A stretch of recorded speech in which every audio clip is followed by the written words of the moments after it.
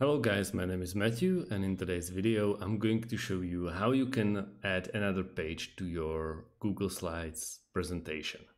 First of all, as you can see, I already made something up uh, just for this case. Uh, as you can uh, as you can see, we just need another one because this one, let's say it's the entree.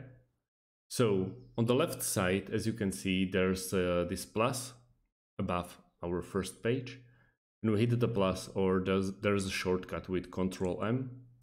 And as you can see, there's already a new title. You can uh, write in here. Uh, you can uh, basically pick whatever you want to.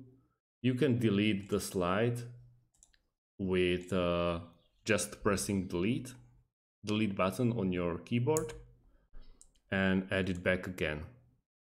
You can add uh, multiple multiple pages if you know exactly how many uh, pages you will need for your presentation. But that's about it. Thanks for watching and see you in the next video.